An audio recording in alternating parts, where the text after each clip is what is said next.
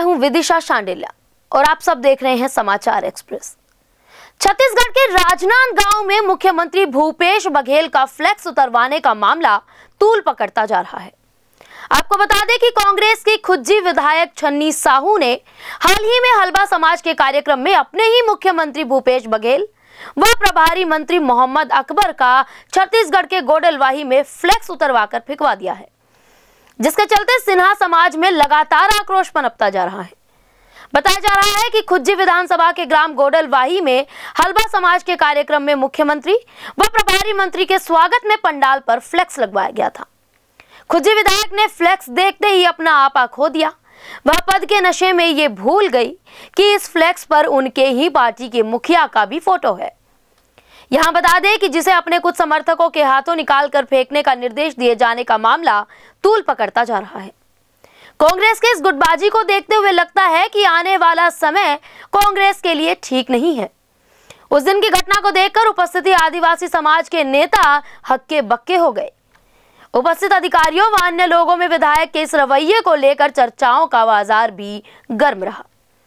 इधर सिन्हा समाज के लोगों को जैसे इस घटना की खबर लगी, उन्होंने तत्काल डोगर गाँव विधायक व पिछड़ा वर्ग आयोग के अध्यक्ष दलेश्वर साहू के निवास में आयोजित सिन्हा समाज के कार्यक्रम में निंदा प्रस्ताव रखा और इस मामले पर तुरंत कार्रवाई नहीं होने पर अर्जेंट मीटिंग बुलाकर पूरे प्रदेश में विधायक का पुतला दहन किया। उन्होंने कहा कि इस मामले में समाज के लोग अब कार्रवाई नहीं होने तक पीछे नहीं हटेंगे। बहरहाल विधायक के कारनामे की वजह से कांग्रेस की वर्तमान में किरकिरी होने से कोई नहीं रोक सकता है। वही सफ़ाई में विधायक छन्नी साहू ने लोगों को राजनीतिक न करने की सलाह दे डाली है। जब कांग्रेस नेता तरुण सिन्हा ने इस संबंध में पूछा गया तो उन्होंने कहा कि उन्होंने अपने नेता व छत्तीसगढ़ मुख्यमंत्री का फ़ोटो लगाया था। किसी दूसरी पार्टी का नहीं बताते चले कि छत्तीसगढ़ के राजनांदगांव में मुख्यमंत्री भूपेश बघेल का फ्लेक्स उतरवाने का मामला काफ़ी तूल पकड़ता जा रहा है।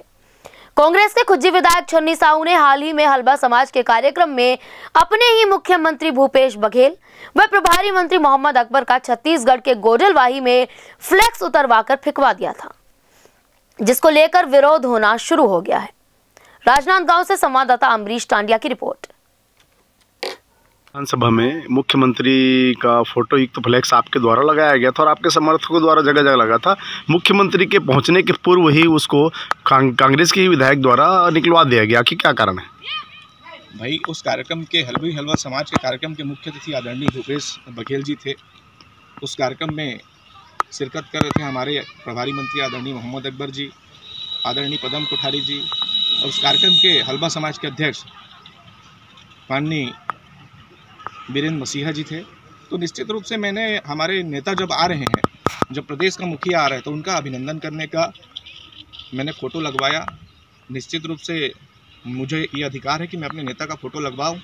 इसे देखकर अचानक से पता नहीं ऐसा क्या हुआ श्रीमती छन्नी साहू को, कि उस फ़ोटो को तत्काल अपने समर्थकों के द्वारा निकलाया गया। ये देखकर मुझे बड़ा अचंभित लगा, जबकि मैंने सारे अखबारों में, सारे विधायकों का फ़ोटो मेंशन करवाया था सब लोगों का फ़ोटो उसमें लगा हुआ था।